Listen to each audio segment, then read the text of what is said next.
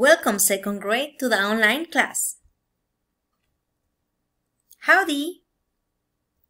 I am teacher Sara Alcaraz. Let's go into our daily routine. Today is Tuesday, April 28, 2020. How is the weather today? It is sunny, cloudy, rainy, partly cloudy. What about the temperature? It is hot, cold, warm, cool. How do you feel today?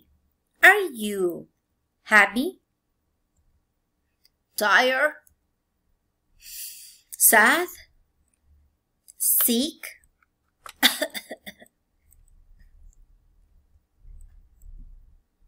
or angry? Let's have a review about the vocabulary of the farm. Pay attention in the picture. Dog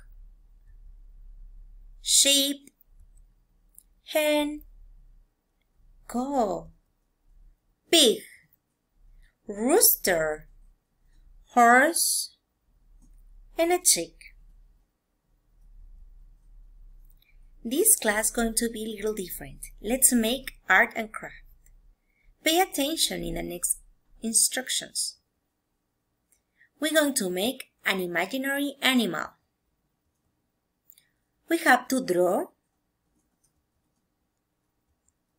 or cut some picture about farm animals. I choose a pig, a sheep, and a horse. Then we have to cut the animals in different pieces. Maybe the tail, the ears, the head, the legs, the body into parts. Because we're going to create a new animal, an imaginary animal. In your notebook, Write the skills, characteristics, and an invented name of your fantastic animal. Example, the name going to be a mix of both names, hen and cow. Hen and cow. I write the name Heno. It's a new name. Skills. I can make omelette and milkshake. Omelette with an egg and milk because the cow gives us milk. Characteristics. I have four legs.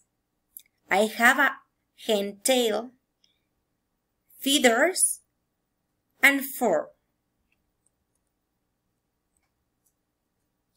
This is only a culture tip.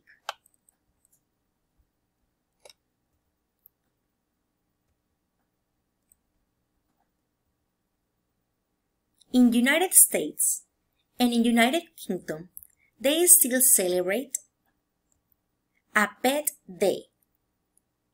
They bring the pets to school. Could you imagine if we bring our pets to our school? It can be funny, right? Any question, you can find me at WhatsApp. Thanks.